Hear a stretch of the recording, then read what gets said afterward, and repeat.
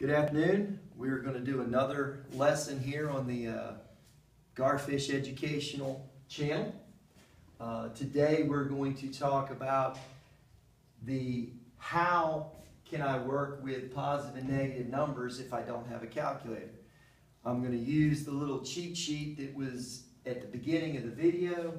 I do want to stress that the second line on that thing is how I feel. Math is almost always easier with a calculator. There is some value to knowing how it works though, because that way you kind of got an idea in the back of your mind, and when you see the answer on your calculator, if it's you know really different than what you're expecting, it can give you the idea, hey, wait a minute, I better check this again. Maybe you fat fingered it and hit two buttons instead of just one. But again, this is just kind of as a background kind of thing.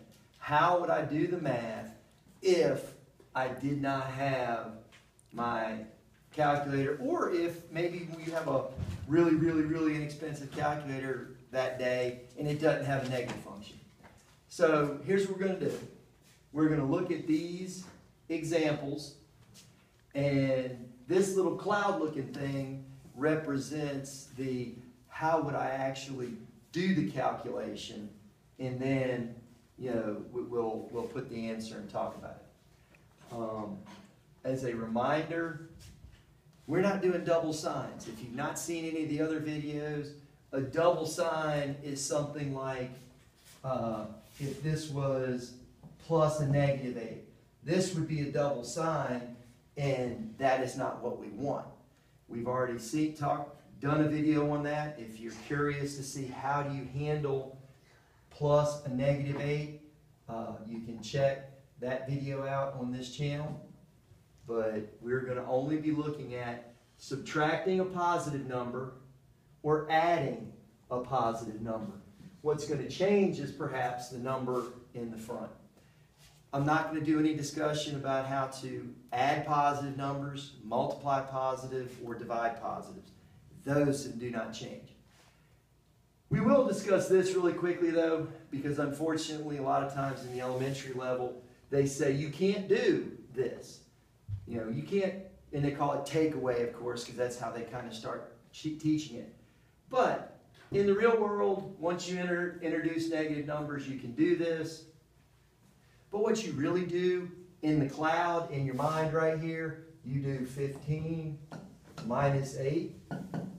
Okay? And that's 7. And then all you got to do is go back and say, okay, which number was the largest? If it's the first number, your answer would have been positive. But since it's the second number, it's a negative. When you're subtracting two positive numbers, if the second number is larger, your answer is negative. And to do the calculation, you just reverse them, 15 minus 8, but you know your answer is negative. All right? Now let's look at these negatives. Okay, I'm going, instead of moving that, I'm going to pretend like I can draw a cloud. Okay? So what am I going to do in my mind in the cloud? Well, if I start with negative and subtract, I'm going to continue to move left on the number line. So I'm going to get farther away from zero. If I start at negative 9 and start moving left, what am I going to do? I'm going to be counting negative 10, negative 11, negative 12. It seems like my numbers are growing, even though they're getting more and more negative, so the value is getting smaller. In size, they're getting bigger. I'm adding. If I start with a negative number and need to subtract, I actually add the two numbers together. 9 plus 8 is 17. And since I started negative and went left, it's going to be negative 17. If you subtract from a negative number, you actually add the absolute values together, 9 and 8, and then make the answer negative. That easy. And again, if you you can go to my actual uh, web page on the Hillcrest Middle School website and see the notes that were at the first of the video. But I did, you know, if you want to go back and you can look at them, take a screenshot or something but uh, I'm just following those notes. Okay? What if I want to add to a negative number? Well, in my mental math cloud thing here. Negative 10 plus 4. Okay, I start off negative on the left-hand side of 0. Addition is to the right. I'm going to be counting down. If I start at negative 10 and move towards 0, it's 9, 8, 7, and of course they're negative. So what does that sound like? It sounds like subtraction. When my signs are different, but I'm trying to add, if I'm trying to add to a negative number, I take the absolute values and I subtract them. Not 10 minus 6, that's the answer. 10 minus 4. Okay, that's the actual calculation I would do in my head. And that's 6. And now I go back and look at the original problem. Which one of these numbers looks largest? Which one has the largest absolute value? The negative 10. So it puts the answer, it's negative 6. Okay? All right, well, what about up here? Another addition problem with a negative, okay? And same thing, okay? In my cloud or in the mind, whatever, I take my two absolute values, 9 and 6, and I subtract them. Okay? What do I get? 3. And now I go back to the original problem. Which number looks like it's the largest? Which number has the greatest absolute value? Which one's farthest from 0? The 9. It's positive. My answer's positive. Okay? So that is how you do addition and subtraction when negative numbers is involved or if the number that you're subtracting is a bigger positive. Okay? Positive minus a positive, when this one is the larger value, is a negative answer. Negative minus a positive, always a negative result.